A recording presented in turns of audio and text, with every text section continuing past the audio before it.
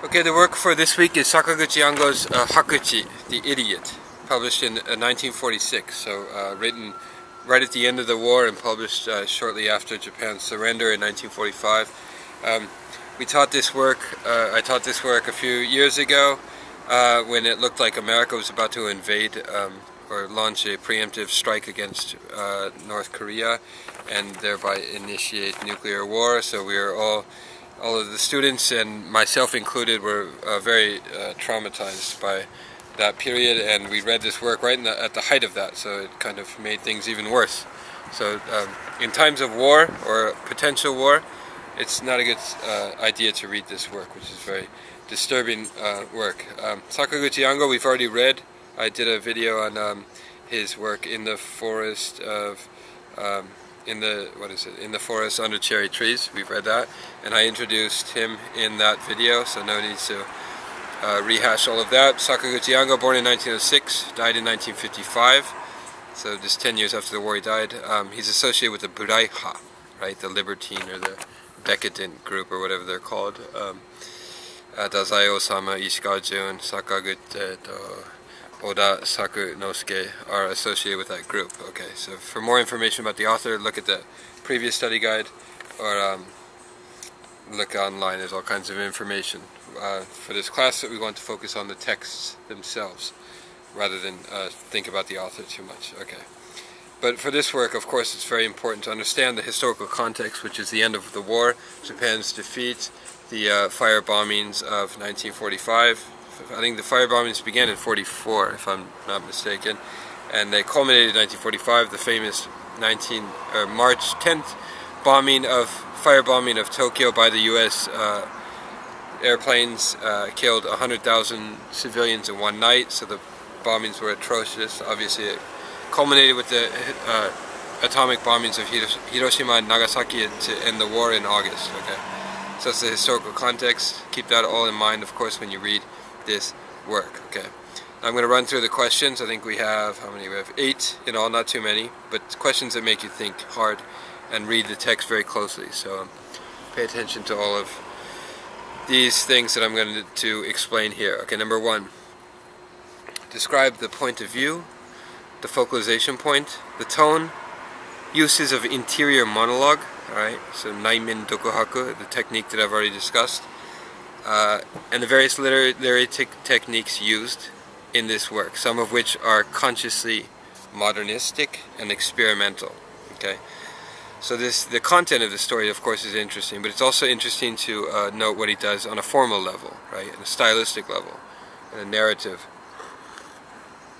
level. Okay. Um, interior monologue, focalization points, yes. Are there any flashbacks? And the fancy word for flashbacks is analepsis. Are there any flash forwards, prolepsis? Okay. Or is the story told chrono chronologically? Okay. So keep in mind how time progresses in the narrative. What I novel, watashi shosetsu, autobiographical elements do you detect in the work? Right? Is this can this work be read as a watashi shosetsu in your view? Explain. Okay, so that's a basic question about the narrative elements of the work. Number two, discuss the setting. Okay as described in the first few pages. Okay, for example, the people, the, their environment, their state of living, moral condition, historical circumstances. Okay, if I'm not mistaken, the, the first few pages describe the uh, residents of that area uh, in very animalistic, feral terms, right? Okay, is the war the main, in, in fallen terms, and the word fallen, daraku, fallenness, right, is a very is a key word in uh, the works of Sakaguchi Ango. He wrote, wrote his famous essay Darakuron after the war. so this idea of fallenness is very central to his work. What is he suggesting by describing these people in fallen, uh, in a fallen condition? Right. Is the war the main cause, in his view, in the narrative's view, for their fallenness, or is something else to the cause? Okay, is he perhaps hinting at something like original sin, the doctrine of original sin? Why do you think Sakaguchi goes into such detail in these opening pages before the main plot line begins? Okay, so the main plot doesn't begin till page six or seven, if I remember it correctly. But um, this introduction is very long. And why does he include this long introduction? Okay, number three. Who are the so-called Buraiha writers? Okay, this is a general question about the um, sort of literary context that you need to know. What are the characteristics of this group? Donald Keene, the famous um, uh, Japanese literature um, scholar and translator who recently died two years ago, I think. Donald Keene describes their writing as sometimes farcical and sometimes nihilistic. What is farcical or nihilistic about Sakaguchi's works in general and this story particularly? How does the theme of daraku, fallenness, moral or social degradation, appear in this story? Explain. Okay, so that kind of relates to one of the other questions, but you can extend on your answer for that other question. Expand on your answer from that other question. Number four, numerous binary oppositions appear in the work. Make a list of all the oppositions, okay? So this is something I always say, not always, but in, in works in which uh, binary oppositions are particularly prevalent, I always make students make a list of them. And then in each binary, which opposite has a positive valence, okay, which is the good one in the pair, and which has a negative valence.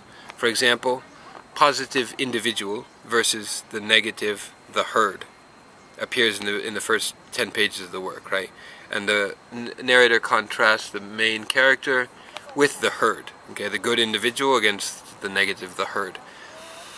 Or another binary that appears in the work is nikutai, flesh, right, or material, human uh, bodies, right, nikutai, meat, literally, meat bodies, carnal bodies, is positive in the work versus negative, kokutai, nikutai, kokutai. Both of them have the kanji for tai, karada in their names, right? But nikutai is described in positive terms. Kokutai, or the um, the state, right? The country, the nation state, the polity, I think it's translated as, uh, is negative.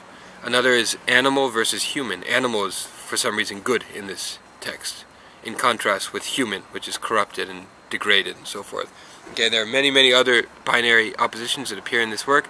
Make a list of all of them, describe them, and note which is, has a positive valence and which has a negative valence. Okay, number five. Uh, Sakaguchi Ango, this is a significant fact about his life, studied Eastern and Indian philosophy while an undergrad at Toyo University in the 1920s. Buddhist elements and ideas frequently appear in his works. I think we saw it in uh, the in the forest under cherry trees in full blossom story, right? The idea of koku or nothingness or mu appeared in that work, right? He's, koku is what he felt when he uh, sat under the cherry trees in full bloom at the end of the story. Can you identify any Buddhist elements or ideas in this work? Explain. And I, I give you a hint there, nothingness, emptiness, absolute solitude, the idea of shuchaku or attachment, all figure into this work, okay? So there's kind of underlining Buddhist themes and Buddhist ideas that run through it, identify them and explain them is the question. Number six, discuss Izawa, the main character of this, the protagonist of this story. His job, what is his job? What is his worldview? How does he view himself? How does he view himself vis-a-vis -vis others? Uh, what are his circumstances at the end of the war, right? What does he do for a living and so forth? Daily concerns, his view of art, his attitude toward the war. What is his attitude the, toward the, the woman, the hakuchi, woman that he finds, right? Okay. And that leads us to number seven, which is describe the Hakuchi, the feeble-minded woman. What metaphors, similes are used to describe her? Okay, so whenever he describes her, he uses uh, certain similes and metaphors. Is she, for, for the uh, Izawa, is she a symbol for something? If so, what is she a symbol for? Explain. Okay. Another uh, thing you could tack onto that is, does she, uh, do we ever get access to her directly, or is everything we know about this female character filtered through the um, somewhat warped lens of Izawa? Right. Okay, number eight. Sakaguchi's description of the 1945 Tokyo fire bombings, the Tokyo Daikushu, Daikushu is the word in Japanese, is one of the best descriptions of urban aerial bombardment in all modern literature. Okay? Donald Keene has said that there are, quote, few comparable accounts of what it meant both physically and spiritually to live through the bombing of Tokyo in 1945. That's in his uh, History of Modern Japanese Literature on page 1078. Discuss the firebombing scene, discuss its effects, and discuss Izawa's response to it. What literary techniques does the narrator use to convey the experience? Okay, so that's a question specifically about the firebombing and its representation in this story. My good friend Justin is a, a scholar, a historian who specializes in the firebombings of Tokyo, so he will be particularly interested in this question. Number nine, um, discuss the ending. Okay, why does Saguchi refer to the destructiveness of war, in quotes, as a, quote, gigantic love, which would pass impartial judgment upon everything? Okay, so that's a rather peculiar way to describe this horrendous war that he's lived through. He describes it in kind of positive terms. The destructiveness of war is a gigantic love. Usually war is considered the opposite of love, right? Why is he considering a, a, a the, the gigantic love that passes impartial judgment upon everything. What do you think will happen to Izawa and the woman after the war ends? Write a short sequel to the story. Okay, so using all the evidence from the story, everything you know about their relationship, these and these two characters, Izawa and the woman, uh, how do you think the story concludes? Do they stay together? Do they part? What happens to them after the war?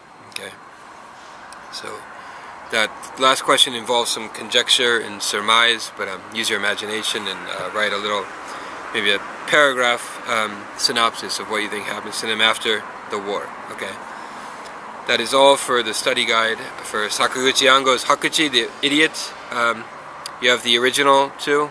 It's fairly difficult to read in the original, and uh, many of my Japanese students struggled with it a few years ago. But um, at least look at it, and uh, if you're a foreign student, look at it if you're a Japanese student, um, read the English translation in tandem with the um, original. Okay, if you have any questions, send me an email. That is all. Bye-bye.